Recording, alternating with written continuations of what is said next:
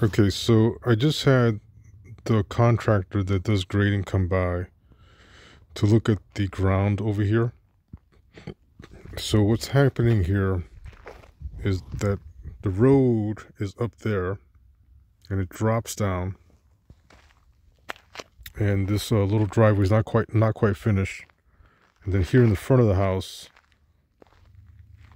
all the mud is collecting. And over by the base of the house foundation, all that water's collecting, and that's really bad for a house. So basically with the uh, contractor guy, he was a real nice guy. He's essentially going to redo this area over here to over there. And uh, over there where it's all messed up. Basically, we're gonna we're gonna fix that got a big old rut. So we're gonna fix that. And uh, over here where we got the little beds for the flowers, we're gonna angle it that way a little bit because it's angled the wrong way. So we're gonna angle it the, the right way. And that's gonna protect, that's gonna protect the foundation. So this area here, from about here to about here is roughly about 16 feet from the front of the porch about 16 feet roughly. That's the main area that he's going to fix. And we're going to end up with the retaining wall on this side. And then right, right here, right in front of us, we're going to have more gravel. So it's going to really change the way it all looks. So all these little ruts, all these little ruts are going to be gone. And the ground is going to be angled that way on the left side of the house.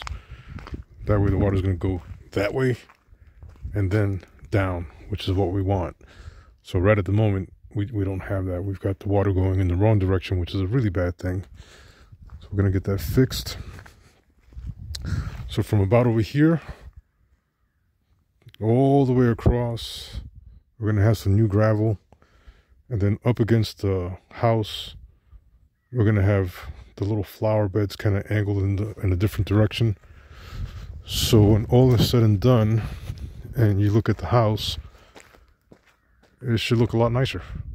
Look, so the house, the house itself looks nice, but the ground in front of it looks not so nice. So once that's all done, it's going to really change the look of it.